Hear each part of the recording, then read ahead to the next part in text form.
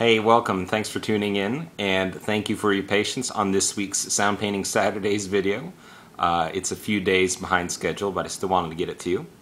Uh, you'll notice that the setup behind me is a little different. Our apartment's in a bit of a transition. We're moving just a few blocks to a nice place. So bear with me here, but I wanted to share with you today just uh, one thing from not this year's think tank, but the last year's think tank. Uh, so for those of you who were there, this was something I shared, but for those of you who weren't, I wanted to invite you in on the process of a gesture I've called even odd. And it's a subset really of rhythm tap, working with that.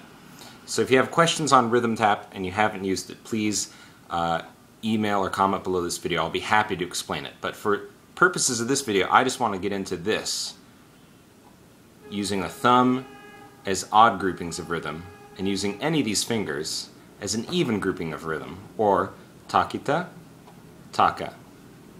So for instance, I could combine, after a prep, I could combine takita, taka, taka, like that. And I could show a rhythmic pattern very quickly and very simply.